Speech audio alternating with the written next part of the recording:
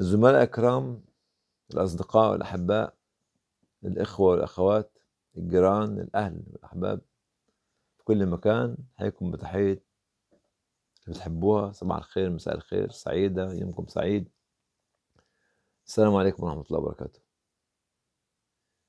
اليوم هنتذكر نصيحة الرسول صلى الله عليه وسلم سيدنا معاذ بن جبل حينما أمسك لسانه الرسول صلى الله عليه وسلم وقال له يا معاذ أمسك عليها كغازة قال له يا رسول الله صلى الله عليه وسلم سنحاسب يعني ربنا حاسبنا على اللي إحنا بنقوله لا فقال له سكتك أمك يا معاذ وقال يكب الناس على مناخرهم يعني اهو في جهنم والعياذ بالله إلا حصائد ألسنتهم. ما تتكلمش كتير يا معاذ ما توعدش الناس يا معاذ كتير. وكلمتي النهارده ليا وللشباب بالذات. كثرة الكلام زائد كثرة العهود وكثرة الوعود. بدون تحمل مسؤولية. إيه هي بقى؟ هنتكلم عن الكلمة النهاردة. ما هي الكلمة؟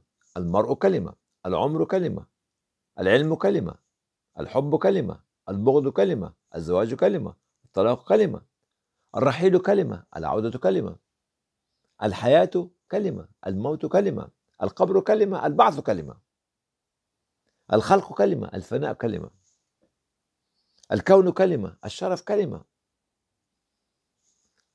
الشرف كلمة الغدر كلمة الحقيقة كلمة الصراب كلمة الحق كلمة الباطل كلمة الدين كلمة الإيمان كلمة النار كلمة الجنة كلمة الحديث كلمة وحديث الرسول صلى الله عليه وسلم كلمة السنة كلمة القرآن كلمة والعهد كلمة. فأوفوا بالعهود. يا شباب أنا بكلم نفسي وإياكم عشان كثرة ما بنسمع وبنشوف وبنعاين ونعيش. من كلام جميل كلام معسول لا يحققه أحد وينساه كل أحد. فتذكر أن هذه الكلمة قد تكون قد توردنا المهالك. قد توردنا المهالك قد توردنا المهالك. السلام عليكم ورحمة الله وبركاته.